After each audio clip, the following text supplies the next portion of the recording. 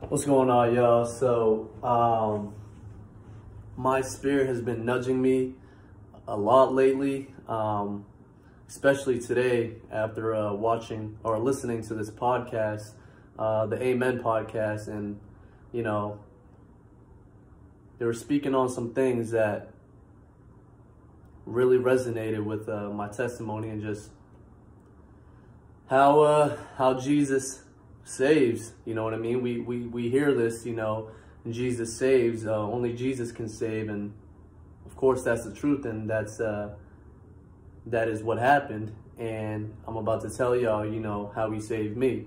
Uh, so um, if y'all can just not skip through this and you know take the time and listen to me, you know, I, I would highly appreciate it.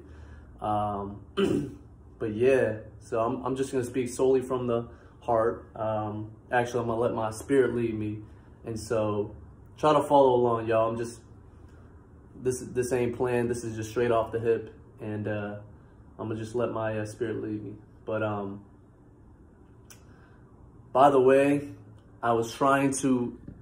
So the last like half hour, I've been trying to record on my GoPro, but uh, the enemy is obviously uh, oh so present because every time I would First of all, I was speaking for about like 15 minutes and it only recorded like a minute of it.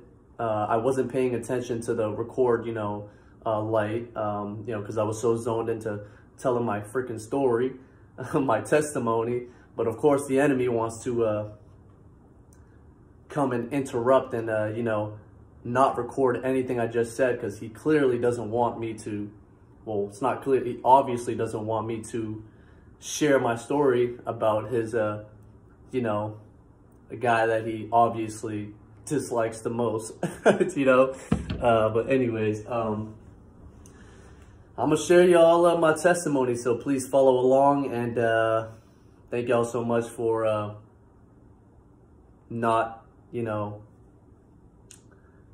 watching something else. Uh, anyways, I'm gonna get right into it. Um, What's going on, y'all? My name is uh, David, uh, David Tran. That's this. That's the only time I'm gonna tell y'all my uh, government name. Uh, y'all know me as Dave Wonders, but you know I'm a human being first. Uh, you know, um, and my name is David, and so I'm gonna get right into it. I'm just, I'm just prolonging right now, okay, y'all. Anyways, I'm gonna get right into it. So around this time last year, actually, um, was when uh, my life changed. Um, you know, it was actually early March uh, when my life really, when God took me on this journey, you know. And uh, yeah, so around this time last year, I was still living at home. I was back in Massachusetts. Um, you know, which is where I don't reside currently. I, I live in Dallas, Texas now. Um, but yeah, so around this time last year, I was back at home. And, uh, you know, I was throwing my life away at this at, at, at this point, you know, at, at the time.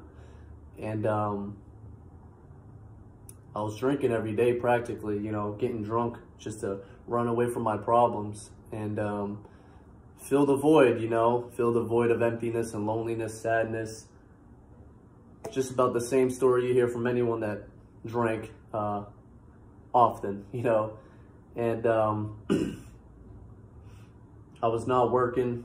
I was freeloading off of my uh, my mother and uh, her boyfriend, who uh, you know, at the time recently just moved in, and um, it was about the fourth month that he uh, had been living with us, where things really changed. And um, I just remember being in my room, hungover, and it's around noontime. And down the hall, I hear my name called, you know, uh, from the kitchen because, uh, you know, my mother's boyfriend was working from home, you know, and uh, mind you, we did not have a relationship. Like, you know, I was a grown man. I'm a grown man. I was 25 at the time living at home. And, you know, the only time we would ever talk is hi or bye or, you know, if I have a question or something really important. But, you know, we never talked, you know. Um, but anyways, I hear my name called, right? And so I'm like, all right. Uh, my heart just totally dropped down all the way to my toes, okay? Like, I'm, I know exactly what's about to go down, you know, because we didn't talk and he just called my name from all the way, you know, he didn't knock on my door. So I'm like, okay, this is about to be real. So now I'm strolling down the hallway into the kitchen with my hoodie on, you know, hungover as all can be. Um, and, you know, he's pacing back and forth. Uh, he got his headphones on because he had just finished a, you know, home workout. So he's all revved up. He's He's got his arms crossed and he's just kind of thinking and, you know, the suspense was killing me, I tell you. Like, I just wanted him to cough up what he was going to say because, like, I, am an anxious person and I was just getting anxious. I was like, what?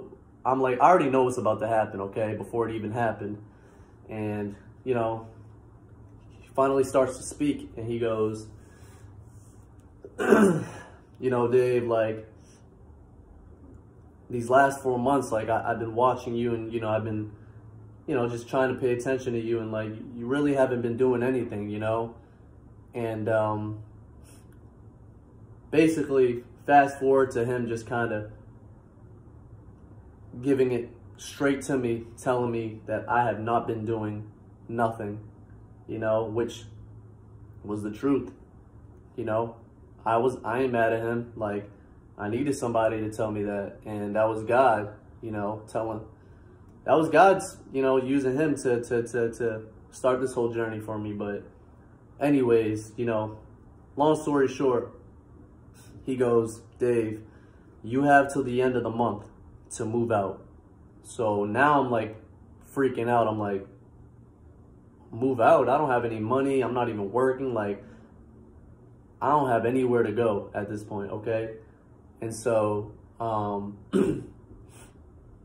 so I'm like, all right, you know, well, actually, before I said all right, I was trying to negotiate with him. I was like, hey, man, like, you know, I got a little money saved up. I didn't tell him that, but like I had a little money saved up and I was like, hey man, like if I just pitch in a little bit, you know, can I, can I just extend my stay until, you know, I get situated and, you know, figure things out. but he was like, he stood by his decision. He was like, no, you have till the end of the month to move out. At this point, I accepted it for what it was and I said, okay. So I shook his hand and that was that.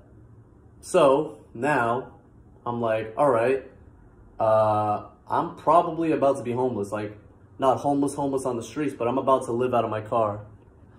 I'm about to live out, uh, out of my car at this point because any other option I had was just not going to work, you know? It just wasn't to work. So I was like, I'm, I'm to live out of my car. And, you know, I think a day goes by. I don't know if it was same day, but that's besides the point. You know, just another backstory, uh, just a backstory, I mean. Um, three years, uh, you know, before that day, uh, my mother found out she had a father, you know. Um, my mother is a, a product uh, of the Vietnam, she's a Vietnam War baby, you know. And um, so, you know, she, she, she fled Vietnam at a young age and never knew her father.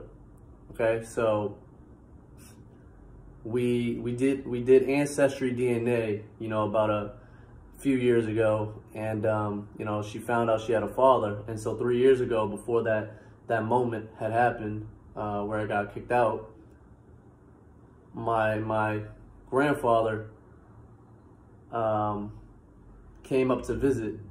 You know, my grandfather and his uh, his wife came up to visit.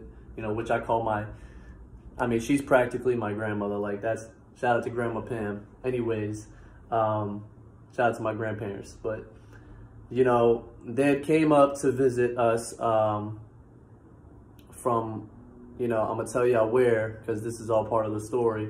They came up from a different state to visit us, and I remember my grandfather telling me that anytime I want to come see him, let him know. And I am always welcome, you know, to come down to see him. And so I've always remembered that and I kept that in the back of my mind. And so, you know, God spoke to me the day that I got kicked out, the day that things were getting real. You know, at the time I didn't know what was going on, but God said something to me. He said, call your Grandpa John and tell him about what's going on and just shoot your shot. Just call him up. And so, you know, I remember being outside, just anxious, just pacing back and forth. And I called him and I just spilled the beans. I just told him like what's going on. Like, I'm just hurting at this point, you know what I mean? And, and so I called him and um, and I said, Grandpa John, like, you know, da da da, like this is about to happen, and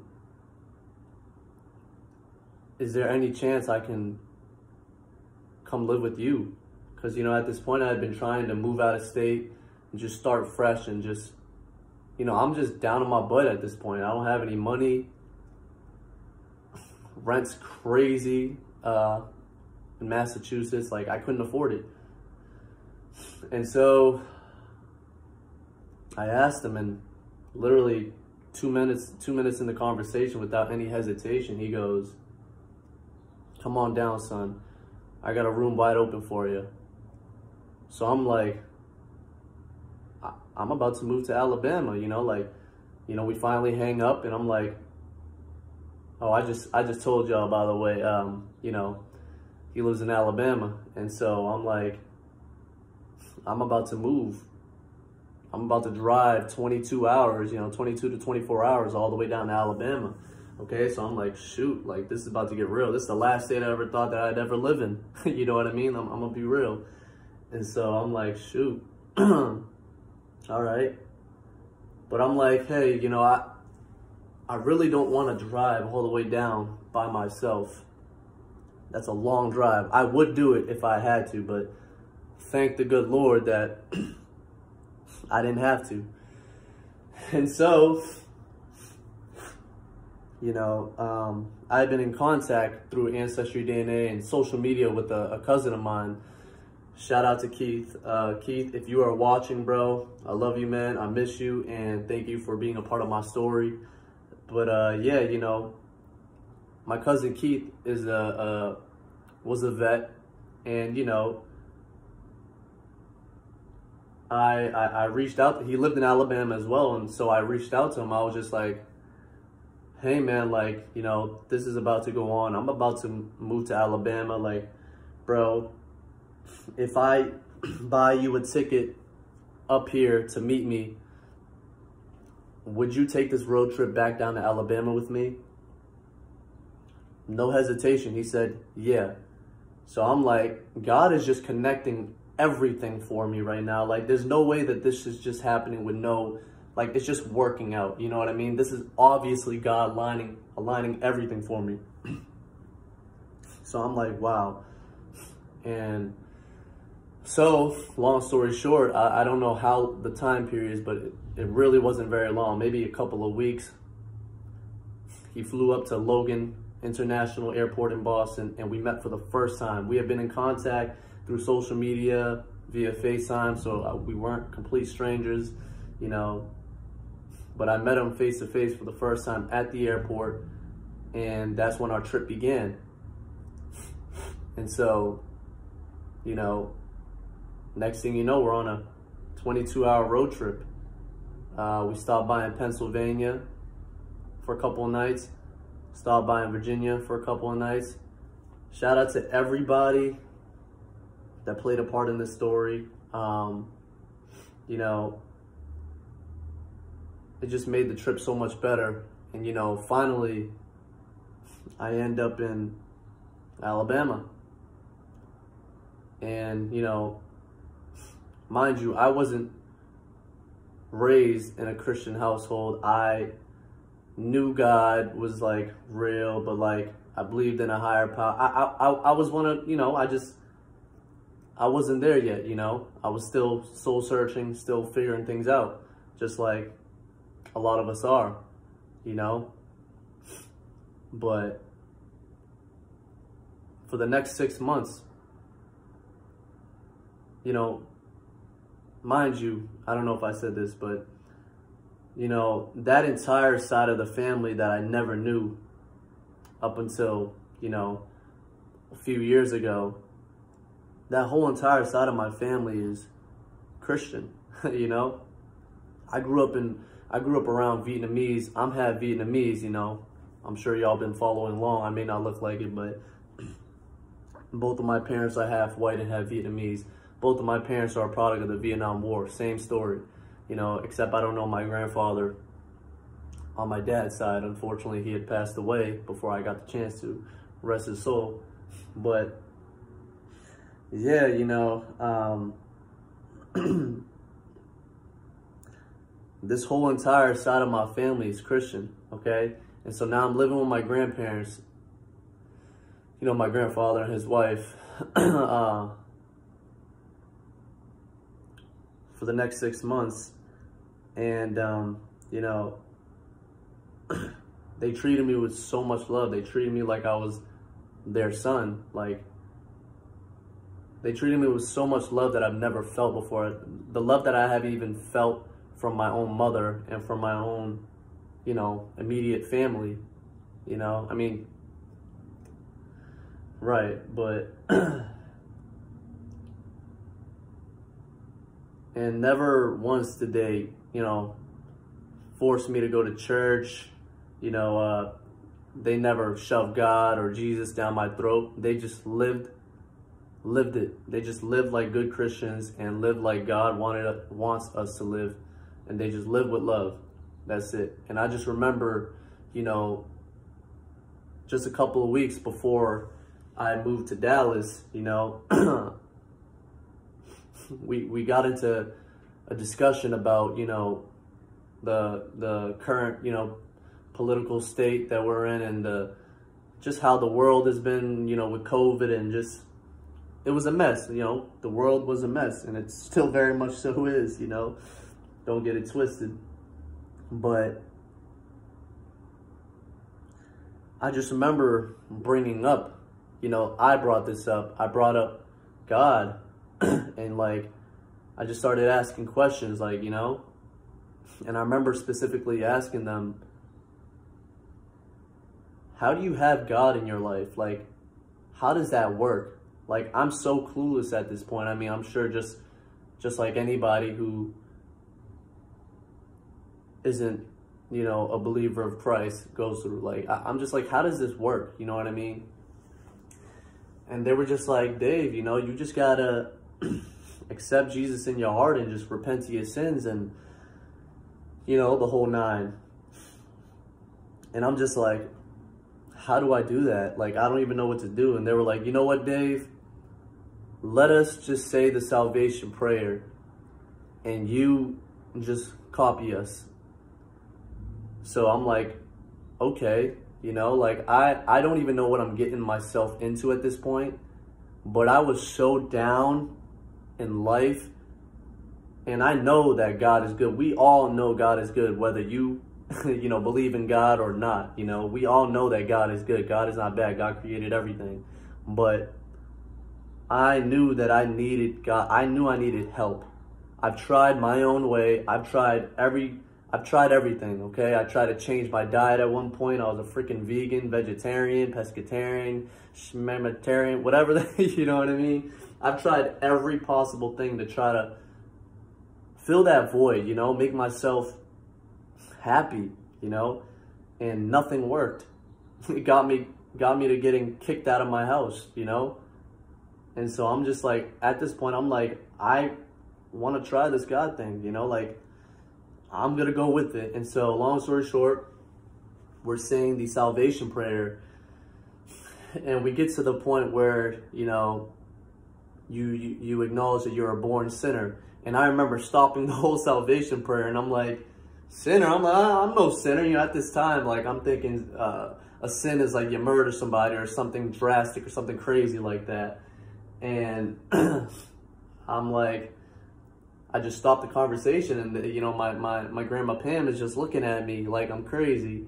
and, and, I'm just like, you know what, let me just like stop and let me just let them do, uh, continue on because they obviously know what they're doing. They, they are Christians. They believe in God. And the way they want, they, the way they live, I want to live, you know. and so I'm like, you know, proceed. And by the end of that, uh, by the end of that, that salvation prayer, that was when I was saved. And, um, for a while, I would, uh, question the authenticity of that moment. But, you know, looking back now, I don't question it one bit because that's what the enemy wants wants you to do, you know? But but I tell y'all like God puts you in situations where the only person that can get you out of that situation is him. Okay? And never in my life would I have thought that I would believe in Jesus or, you know, if you asked me 6 months ago or a year ago, whatever, about Jesus, I probably would have just ignored you or, you know, out of my own ignorance or whatever, you know, I just, Jesus wouldn't be in the picture.